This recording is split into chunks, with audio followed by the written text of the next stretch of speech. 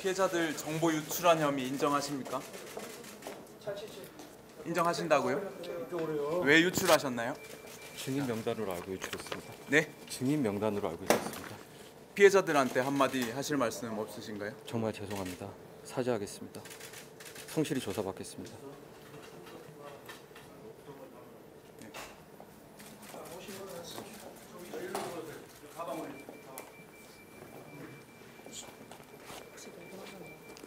녹음 못 줬어.